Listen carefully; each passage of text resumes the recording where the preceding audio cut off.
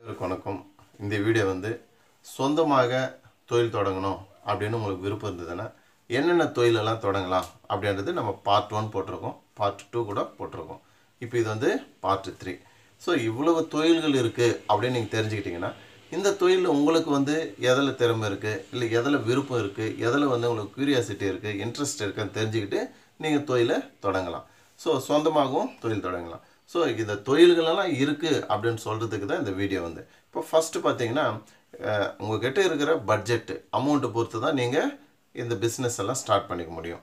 Just இது ஒரு educational பர்பஸ்க்காக சொல்லலாம் அப்படின்னு தான் பார்த்துட்டு இருக்கேன். இப்போ ஃபஸ்ட்டு பார்த்தீங்கன்னா சூப்பர் மார்க்கெட்டு இப்போ சூப்பர் மார்க்கெட்டு கூட நீங்கள் ஃபஸ்ட்டு பார்த்தீங்கன்னா சூப்பர் மார்க்கெட்டு கடை வச்சு கூட நீங்கள் உங்கள் தொழிலை தொடங்கலாம். ஸோ சூப்பர் மார்க்கெட் வைக்கிறதுக்கு அமௌண்ட்டு பட்ஜெட் அதிகமாக தேவைப்படும். ஸோ அப்படி இருக்கும்போது ஒரு பெரிய மளிகை கடை இல்லை ஒரு சூப்பர் மார்க்கெட்டு வைக்கலாம். இரண்டாவது என்னன்னு பார்த்தீங்கன்னா ஒரு ஐஸ் லேண்டு ஐஸ் லேண்டுன்னா பார்த்தீங்கன்னா இந்த ஐஸ்கிரீம் எல்லாம் விற்கிறாங்க இல்லையா? ஒரு ஐஸ் லேண்டு கூட நீங்கள் வைக்கலாம்.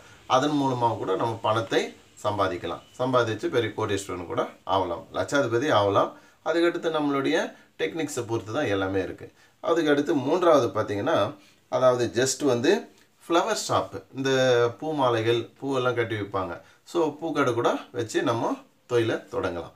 நான்காவது பார்த்தீங்கன்னா அதாவது டீ கடை. டீ கடை வச்சு கூட நம்ம இப்போ தொழில் தொடங்கலாம். இப்போ நேர இடத்துல பார்த்தீங்கன்னா டீ ஷாப் வச்சு பெரிய பெரிய ஒரு நல்ல நிலைமை சொசைட்டியில் ஒரு பெரிய அந்தஸ்து அடைஞ்சவங்களாம் இருக்கிறாங்க. ஸோ டீ கடை வச்சு கூட நம்ம ஒரு தொழிலை தொடங்குறதுக்கு வசதியாக இருக்கும். இப்போ அஞ்சாவது என்னன்னு பார்த்தீங்கன்னா அது இப்போ இது பர்டிகுலராக லேடிஸ் இருந்தாங்கன்னா பியூட்டி பார்லர் பியூட்டி பார்லர் வச்சுட்டு கூட நம்ம ஷாப்பு கடை ஓப்பன் பண்ணிட்டு அதன் மூலமாக கூட நம்ம வந்து ஒரு தொழில் தொடங்கி சொந்தமாக நான் நம்ம வந்து அதில் ஒரு சக்ஸஸ் பண்ணுறதுக்கு வாய்ப்பு இருக்குது இப்போது ஆறாவது ஆறாவது என்னன்னு பார்த்தீங்கன்னா இந்த பேக்கு பேக்கு இது இந்த டாய்ஸு இதெல்லாம் விற்பாங்க இல்லையா அந்த கடை கூட நீங்கள் வைக்கலாம்.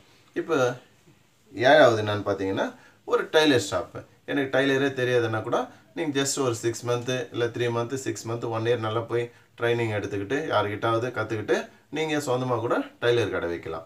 ஸோ எட்டாவது என்னன்னு பார்த்தீங்கன்னா சிமெண்ட் கடை. சிமெண்ட் கடை வச்சா கூட இப்போல்லாம் சிவில் இன்ஜினியரிங் சிவில் கன்ஸ்ட்ரக்ஷன் எப்பவுமே நடந்துட்டு தான் இருக்கும். ஸோ நம்ம என்ன பண்ணலாம்னா ஒரு சிமெண்ட் கடை கூட வைக்கிறதுக்கு தொழில் தொடங்கலாம். ஒன்பதாவது என்னன்னு பார்த்தீங்கன்னா பெயிண்டிங் அதாவது வீட்டுக்கு சுண்ணாம்பு பெயிண்ட் எல்லாம் அடிப்பாங்க இல்லையா?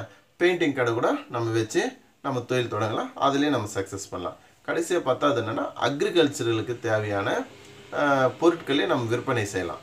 அக்ரிகல்ச்சருக்கு என்னென்ன தேவைப்படுது? யூரியா இது பண்ண தேவைப்படும். ஸோ அதுக்கு சம்மந்தப்பட்ட பொருள்களை நம்ம விற்பனை செய்து நமது தொழில் தொடங்கலாம். இதில் உங்களுக்கு ஒரு பத்து விதமான தொழில்களை சொல்லியிருக்கிறேன். இதெல்லாம் உங்களுக்கு தெரிஞ்சிருக்கலாம். நான் தெரியாதுன்னு சொல்லலை. உங்களுக்கு தெரிஞ்சிருக்கலாம். இந்த பத்தில் எனக்கு வந்து என்கிட்ட பட்ஜெட் இவ்வளோ இருக்குது நான் வந்து இந்த கடை சொந்தமாக ஆரம்பிக்கலான்னு இருக்கேன். அப்படின்ட்டு நீங்கள் ஆரம்பித்தும் சக்ஸஸ் பண்ணலாம். ஆனால் எப்பவுமே ஒரு தொழில் தொடங்குறது பெரிய விஷயம் இல்லை. அந்த தொழிலை வந்து டெக்னிக் ஃபாலோ பண்ணும். சில நுணுக்கங்களை கற்ற நபர்களால் மட்டும்தான் வாழ்க்கையில் வெற்றி பெற முடியும். ஆனால் நீங்கள் என்ன பண்ணலன்னா வந்து ஒரு தொழிலை தொடங்குவதற்கு முன்னாடி வெற்றி பெற்ற நபர்கள் எப்படி வெற்றி பெற்றார்கள்? குறுக்கோயில் எப்பவுமே போகாதீங்க. குறுக்கோயில் நமக்கு தேவை கிடையாது.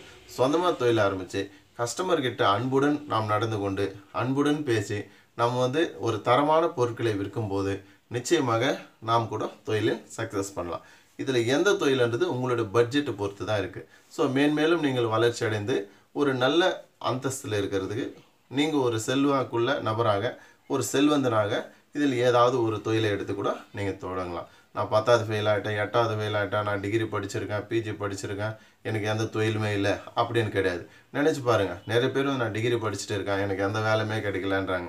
ஸோ ஒன்றும் பரவாயில்ல ஜஸ்ட் ஒரு பத்தாயிரம் ரூபா தான் நீங்கள் டீ கடை கூட வைக்கலாம். ஸோ ஒரு பெயிண்டிங் கடை வைக்கலாம் எவ்வளவோ இருக்குது வாழ்வதற்கு ஆயிரம் வழிகள் இருக்குது ஆனால் நம்ம செய்கிறதுக்கு ஒரு வழி கூட கிடையாதுன்றல. நீங்கள் ஒன்று தேர்ந்தெடுத்தாலும் சக்ஸஸ் பண்ணலாம். ஸோ யோசியுங்கள் யோசியுங்கள் ஆலோசனை செய்யுங்கள். உடனடியாக ஏதோ ஒன்று தொழிலை ஆரம்பியுங்கள். அந்த தொழில் உங்களுக்கு தெரிந்த தொழிலாக இருக்கணும். இல்லை தெரிஞ்சுக்கிட்டு அந்த தொழிலை ஆரம்பிங்க. நீங்களும் ஒரு பெரிய சக்ஸஸ்ஃபுல் பர்சனாக வர்றதுக்கு என்னுடைய வாழ்த்துக்கள். நன்றி வணக்கம்.